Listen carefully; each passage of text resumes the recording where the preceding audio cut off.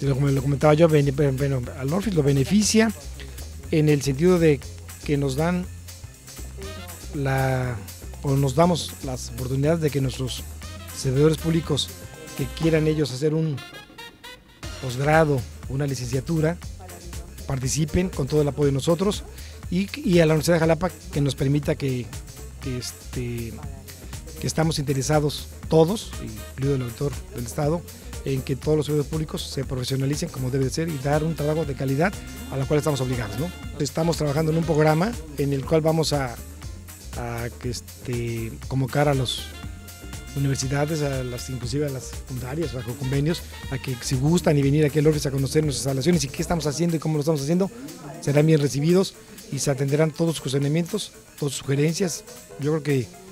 estamos abiertos a la sociedad, que es a la que nos debemos. Bueno, pues para mí es una gran satisfacción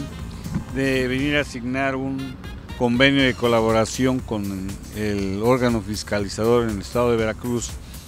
porque no van a asignar un convenio con cualquier institución, con cualquier persona. Ellos buscan la calidad, la excelencia, buscan que haya sobre todo ética, haya seriedad en todo eso. Y pues el señor auditor, que es responsable de este órgano fiscalizador, nos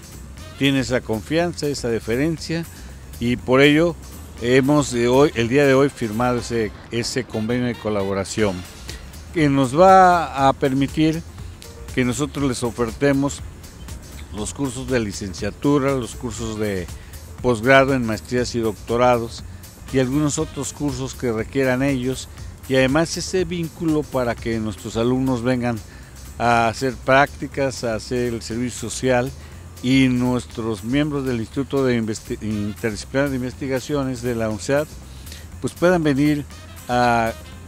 crear líneas de investigación sobre la fiscalización que es muy importante, es eh, lo que está, pudiéramos decir, en boga en todo el país, porque pues es combate a la corrupción. Así que hoy me siento congratulado de todo ello. Mi invitación a los chicos es, bueno, estudiar mucho, a establecer un contacto con la realidad, con el campo laboral, a conocer las instituciones, ahora a través de, los, de las tecnologías se puede conocer a las instituciones y, que llegue el momento en que no digan voy a ver dónde consigo trabajo, sino voy a elegir a qué institución le quiero entregar mi esfuerzo y mi conocimiento. Creo que eso es un punto eh, relevante para que tu trabajo te guste, para que te apasione, para que lo hagas bien.